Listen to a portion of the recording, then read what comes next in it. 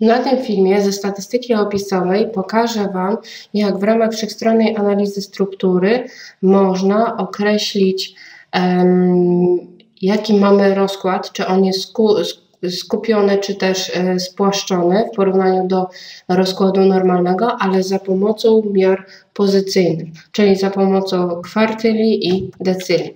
E, taka miara za pomocą miar e, pozycyjnych może być wyznaczona, ale w przypadku, gdy powiedzmy w treści zadania jest jasno powiedziane, że koncentracja ma być zbadana z wykorzystaniem miar pozycyjnych lub też nie ma możliwości wykorzystania miar klasycznych.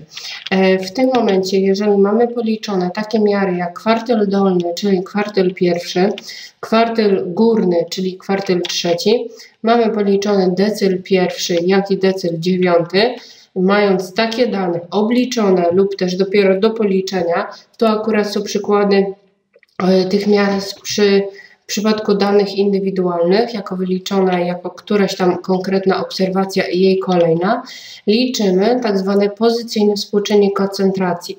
Nazywa on się e, pozycyjnym, ponieważ bazujemy na miarach pozycyjnych. Kwartyle, decyle, czyli generalnie kwantyle, są to podstawowe miary pozycyjne, które nam będą wskazywały jakąś tam część zbiorowości i określały do jakiego poziomu ta część zbiorowości e, otrzymuje wartości.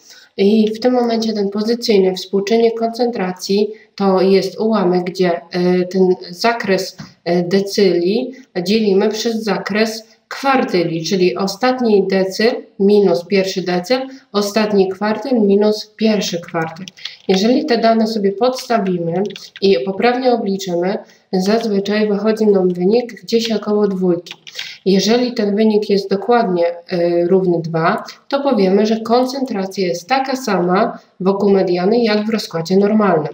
Jeżeli jednak u nas ten wynik jest niższy, możemy powiedzieć, że rozkład akurat tu sprzedaży e, wśród badanych oddziałów jest spłaszczony. Dlaczego? Bo wynik wyszedł mniejszy niż 2.